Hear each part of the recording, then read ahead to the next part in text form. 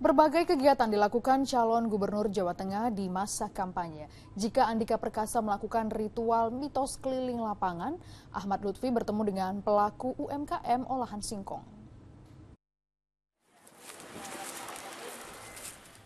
Calon Gubernur Jawa Tengah nomor urut 1 Andika Perkasa Senin siang melakukan ritual mitos di Desa Kenconorejo, Kecamatan Tulis, Kabupaten Batang.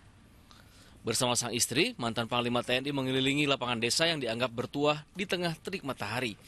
Calon gubernur dari PDI Perjuangan ini meyakini ritual mitos keliling lapangan akan membawa keberuntungan seperti yang pernah dilakukan oleh para pendahulunya.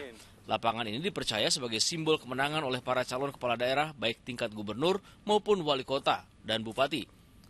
Jadi di Desa Kenconorejo, Kecamatan Tulis ini juga ada local wisdom yang menurut saya sangat juga perlu dihargai dan saya bersama istri bersama Mas Ridwan juga merasa bahwa ini merupakan satu uh, budaya yang harus kita lestarikan.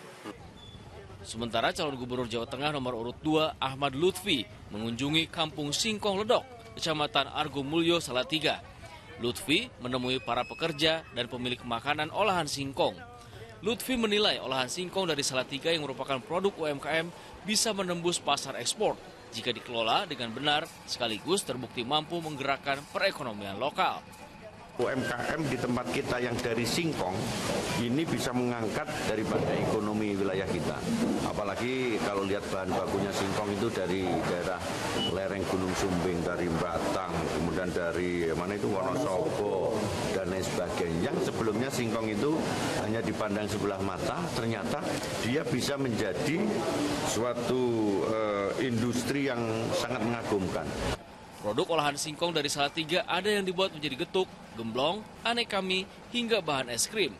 Ahmad Lutfi berharap keberhasilan pelaku UMKM di Salatiga dalam mengembangkan bisnis olahan singkong juga bisa diikuti di daerah lain. Kuncoro Wijayanto dan Yulianto melaporkan dari Batang dan Salatiga, Jawa Tengah.